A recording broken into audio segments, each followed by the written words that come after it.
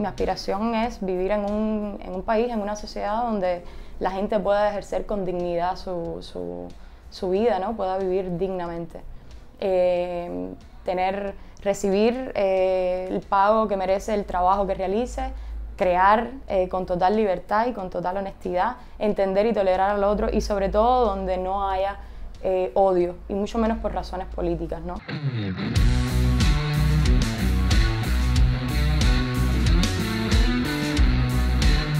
Yo no me considero una activista, a lo mejor tampoco ni una artista, pero, pero sí, sí creo que simplemente soy una persona con, con sentido de, de, la justicia, ¿no? con una conciencia política eh, y con un sentido de la justicia creciente en un contexto como este, en el que la arbitrariedad es algo, es la realidad misma que, que se vive, o sea, la realidad es completamente arbitraria en todos los sentidos y absurda también.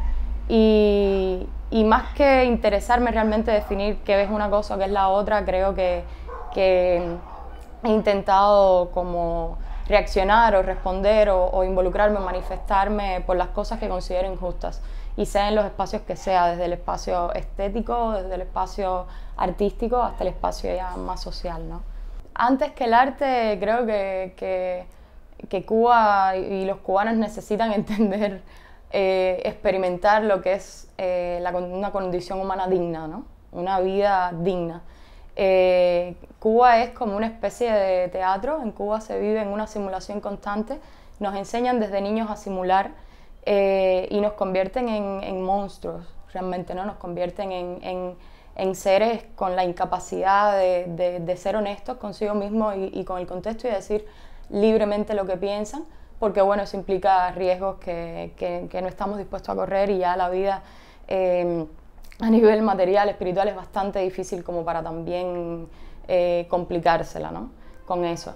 Entonces yo, eh, más que el arte, creo que lo primero que, que necesita Cuba es que cada cubano tenga la posibilidad y el derecho a ser honesto y a poder vivir entonces con un mínimo de dignidad. Y luego de ahí pues moverse y en, el espacio social que entienda y ser lo que, lo que entienda ser. Mis demandas es, eh, o sea, mi demanda de, vida básicamente es poder vivir en libertad, poder vivir en un espacio en el que no se condene, no se castigue, no se persiga, no se reprima eh, la libertad de pensamiento y la libertad de creación. Eh, y en la que no se reprima ninguna, o sea, en la que no se, se en la que en el, el Estado, por cuestiones ideológicas, no decida y dicte quién tiene derecho a participar o no del destino del país. ¿no? Mi demanda básicamente es eh, vivir un espacio en el que se pueda denunciar la injusticia y se pueda hacer algo realmente para revertir la injusticia y para construir eh, en positivo una sociedad mejor. Pasa que la institución tiene una responsabilidad desde que la institución es la que dicta las políticas culturales y desde que la institución apoya eh, políticas culturales que están encaminadas directamente y que tienen que ver directamente con la represión eh, y ya con una represión de tipo grave, ¿no? una represión que viene desde las fuerzas militares, desde el aparato de, seguridad del Estado, desde todo esto. Y creo que la, que la institución sí tiene que encarar esa responsabilidad y sí tiene que responder por eso. Em, en el caso de un diálogo, para tener un diálogo, lo primero es que hay que tener igualdad de condiciones. Y yo creo que esa, ese pujar por un diálogo es precisamente poner a la institución eh, frente a la discusión de tener que reconocer a una zona de la sociedad que normalmente margina, que condena, que estigmatiza y que no quiere reconocer. Y es a esa zona incómoda para ellos porque disienten eh, políticamente, porque son críticos, porque son frontales en su crítica eh, frente al Estado y frente a la realidad. Entonces, eh, obvio, para haber un diálogo tiene que haber un respeto y un reconocimiento mutuo. Eh, y en este caso es lo primero por lo que se está eh, empujando, ¿no? Porque tengan que reconocerlo. Yo, yo, siento que hay como un ambiente muy esperanzador. o sea, se vivió por primera vez un... un se, se experimentó ya a una escala mucho mayor un sentimiento de comunidad, una identificación mutua eh, una solidaridad que creo es un proceso que ya no tiene vuelta atrás. ¿no?